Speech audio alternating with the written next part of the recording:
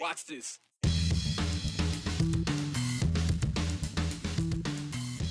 After months of buildup, Idaho ends up pretty much where it already was. Oh, there were a few surprises from yesterday's election, so there are a few things for us to talk about now that the dust has settled. And we're going to do that with both party leaders and political experts on what did and didn't change. It may have been the fastest trigger finger in the West. Mere moments after polls closed in Idaho, we knew who would be returning to the governor's office for a second term. How can the known authority, the Associated Press, be so quick on the draw? You know, election night can change a lot, or it can change very little. It's the hours where the prognostications of political pundits are put aside and we see what the voters have to say. Of course, we all heard the national prediction of a red wave rolling over through the midterms. That wave is something you can count on here in Idaho, kind of like the schedule at the Boise Whitewater Park. You can expect some new faces, sure, but in terms of what party controls what here, Idaho seems to have the same identity. What does that mean, though, for Republicans who control all statewide constitutional offices yet again? And what does it mean for the Democrats who held their own to protect their seats at the State House? Here's Andrew Baertlein. A successful election night for the Idaho GOP, punctuated with a sweep of every statewide constitutional office. It's an outcome GOP leadership expected. What the voters were saying is they appreciate the way that the state is run. House Majority Caucus leader Megan Blanksma adds new House leadership is on the horizon. That's partly due to a 46% turnover rate in the House. That generally happens, you know, in, in one of these redistricting years, and new blood is always nice to have. So I don't I don't think that it's something to be scared or concerned about. I think it's something to be excited about, and I'm I'm happy that I get to work with some of these people. And while the people are new, the teams remain largely unchanged. Neither Democrats or Republicans gained seats on either side of the state house despite some shuffling. Every possible seat, every purple seat, we work really hard for. Democratic Party Chair Lauren Necochea says this was a big win for the Democrats. In a Republican controlled state, she says her party finds success on the margins. The Democrats maintained their margin in key districts, including the Wood River Valley. The Dems swept the district, maintaining all three state house seats. We put a lot of effort in there. Um, as a party, we stationed an organizer there. We've been door knocking there relentlessly. Perhaps that was going to lean more Republican, and we just didn't end up doing that. And we're in the process of trying to figure out what happened there. But one of the Democrats' biggest wins came elsewhere. I learned that we can flip a seat like we did in District 15 when we get out and talk to the voters. And when we can talk one on one, we can share just how closely aligned Idaho Democratic values are with just your regular voters of Idaho. Necochea adds she doesn't like what she sees from the other side of the aisle. The growing extremism is going to be taken to new heights with some of these new legislators. And I think there are people who are frankly unfit for public office who are now going to hold legislative seats, and that's concerning to me. Overwhelmingly, Idahoans chose Republicans to lead the state. And, and that's just facts. That's what we know. And so to say that, that Republicans are extremists or that they aren't in touch with their communities, I think if you go and you look at the vote totals and you look at so many districts were so overwhelmingly Republican, where Democrats didn't even field a candidate because they knew what those communities looked like. We have a disconnect in that we have voters who I think vote Republican out of habit. They have historically. Just if you want to see how extreme the Idaho Republican Party is getting, they're, they're telling us in their platform. Both parties are heavily anticipating state house leadership. The Speaker of the House is a good example of what we're looking at with Scott Bedke becoming the lieutenant governor elect. That role will now have a new face. And for the Republicans, Brian, it's going to be who's going to be one of their leaders to help push that party forward and what they want to accomplish. And then for the Democrats, it's who are they going to have to work with, or perhaps who are they going to have to work against because I asked both parties, mm -hmm. what is that going to look like with these new faces working together with each other? And they said, well, sometimes it's tough to work together at all. So we'll see how that works out and how people get along with these new faces. Yeah, uh, the platform she's refer referring to with the Republican Party has to do with no abortion, no exception kind of thing. Also, what can and cannot be taught in schools. They mentioned CRT in their platform they passed this past summer at their convention. But the terms of uh, people just voting Republican because they're just used to that, I mean, does that kind of, that's what they're falling back on when it comes to the Democratic Party right now? Well, that's what they said. I, Necochea told me, like, we're the party of the people. We're the mm -hmm. party that's doing the things the people of Idaho want. And I pushed back on her a little bit mm -hmm. and I mm-hmm. said, well, then why are you losing so many elections where this is a Republican controlled state? We saw those margins where Little won by 41 points for Right. the governor's seat. And she says, well, we know that people are stuck in their ways. This is a Republican state. It has been for a long time. It's going to take a long time to change that. That was her logic. Party for the people, but not these people, apparently. All right. Thank you very much, Andrew. Okay, so this is where we're going to turn this over to uh, Dr. Stephanie Witt, who joins us again, like she was last night, uh, from uh, the coverage of the election. Uh, political science professor at Boise State University. And a couple things we wanted to talk about. Andrew kind of touched on a little bit, and the percentage points when it comes to who won what and by how much. But the turnout, we're looking at that a little bit. This year seems to be a little bit down from where it was in 2018, 59% versus 67%. Still some outstanding votes to be counted, but that's kind of where we're sitting right now. Yeah. Does that surprise you? No, not at all. Uh, there's always a drop off, as you know, between the presidential election and the midterm election. So we always expect that. The last midterm we had, which would have been the 2018 election, we had an open governor's seat. True. So a lot of attention directed at that race. And I think a lot of people sh- show up to vote for the governor. This time we had a sitting incumbent governor. Uh, and while the Democrats are working on it, I wouldn't say this is their strongest slate of candidates that I've seen in the last several cycles. So I think uh, there just wasn't as much buzz about this one. That's true. Okay, so Andrew touched on this as well. When, of course, the legislature stays the same with the number of seats, both Democrat and Republican. Yeah. Does that surprise you, even though we just had redistricting because of the census? Yeah, that, that was kind of funny. When you add it all up, it's the same as It's it the was yesterday. So, Right. Um, but there were uh, some flips that just that they evened out, right? yeah. the um, the seat up with Latah County where uh, the Democrat lost, and then we had the Dec- Democrats gain a seat down here, District 15, which you just reviewed. So. It's still a daunting figure. I mean, I always like to joke, does it pass the potluck test? Do we have enough Democrats that they could actually have a decent potluck? Maybe. Maybe, and this is what we talked about too. They're going to need each other for Yeah. some of these bigger issues. Well, I do think that in some of the budget issues, what we've seen is that the far right on the Republican Party votes no. And to get the budgets through, the more mainstream Republicans and House leadership has had to rely on the Democrat votes for yes. So I, it'll be interesting to see if they, they still, I guess that's, you could call that working together. Uh, they need each other to get some of those uh, big budgets through. I think the continuing concern on the far right about critical race theory, school budgets, you know, the Commission for the Libraries budget was attacked this last year. Yeah.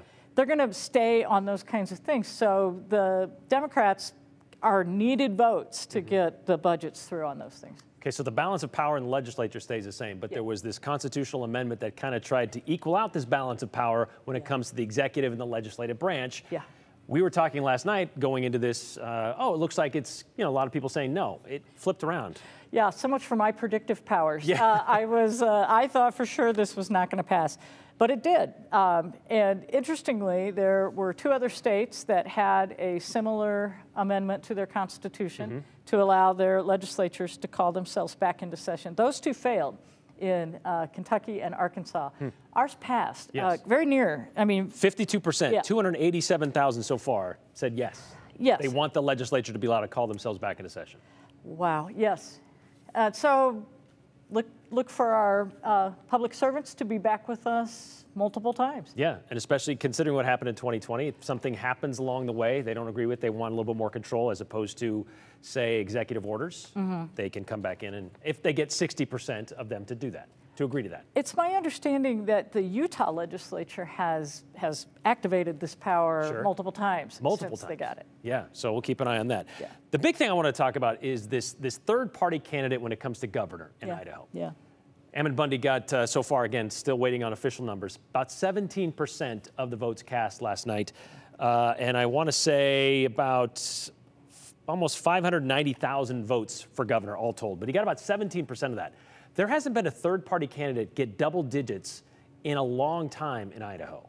So this is a big deal to see kind of where things stand within the Republican Party and then as a up and coming third party possibly in the state of Idaho. Yes. I, now Bundy's a candidate who started as a Republican. Sure.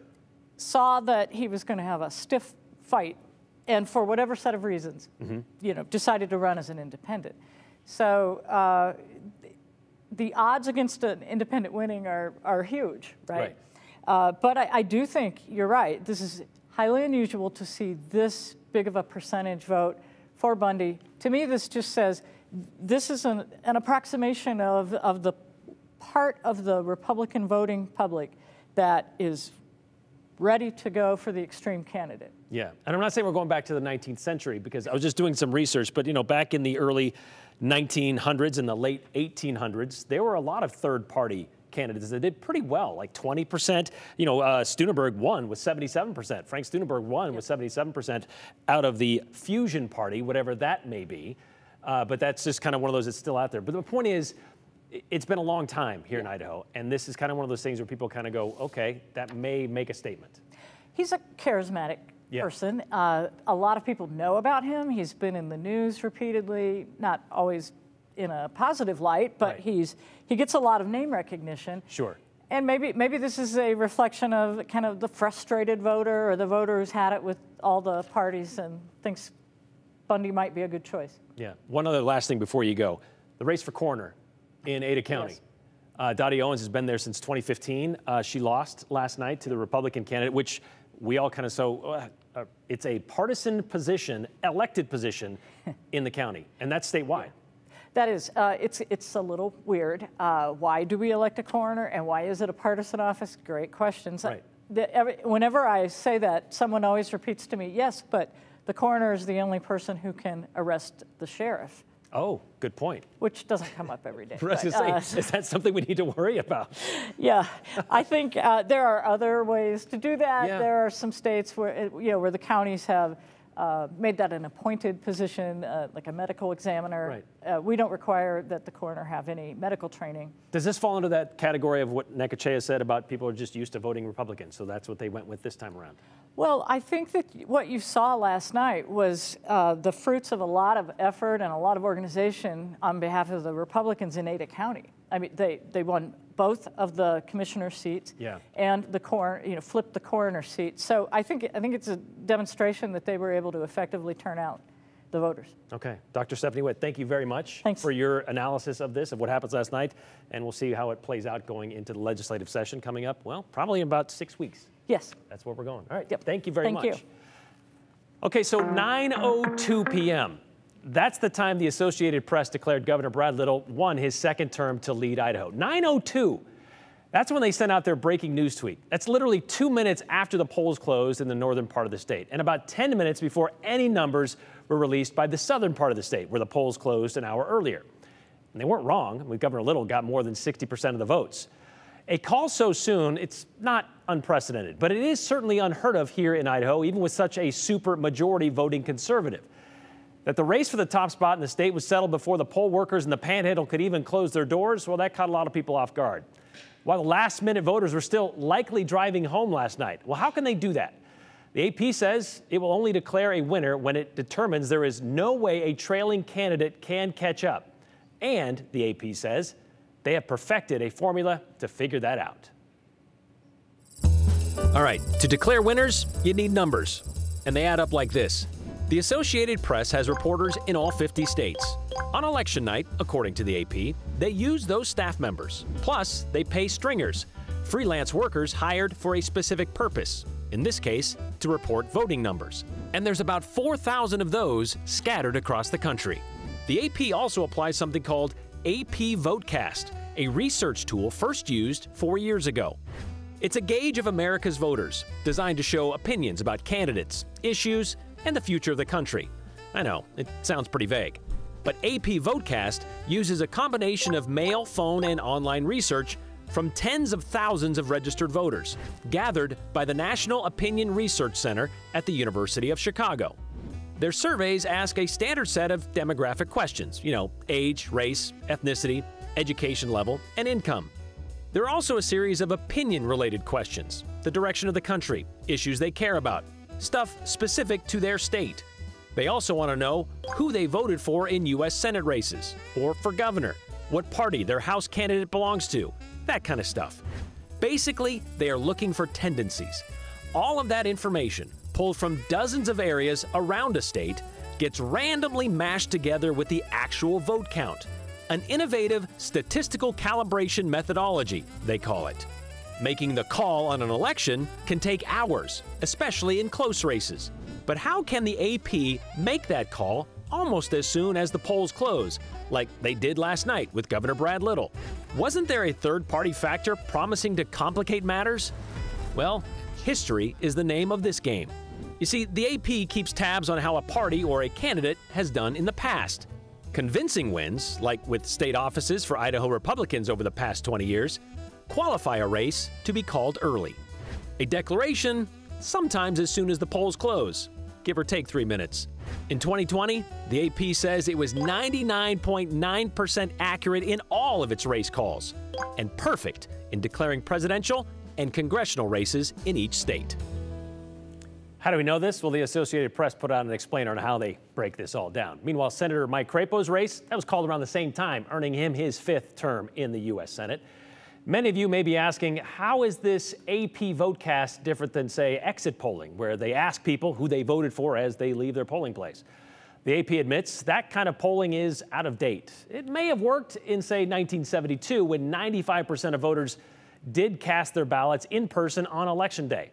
But our ways and means of voting are way different these days. According to the AP, the last midterm election back in 2018, 43% of U.S. voters voted before Election Day. Absentee, mail in, early voting. In 2020, that was up to 70%. In Idaho, we went from 23% in 2018 to 56% in 2020 voting early. Granted, those were the early days of a pandemic in 2020. But the point is, exit polling isn't as accurate as their AP VoteCast and their calling races has become much more scientific, as scientific as surveys and history can be. Okay, so the greater Idaho movement is getting, well, greater. Two more Oregon counties were considering the idea in yesterday's election. Both Morrow and Wheeler counties in the north central part of the state had it on their ballots.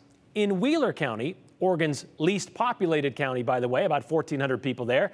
58% of them approved an advisory question that asked about moving Idaho's border to the west of Wheeler County.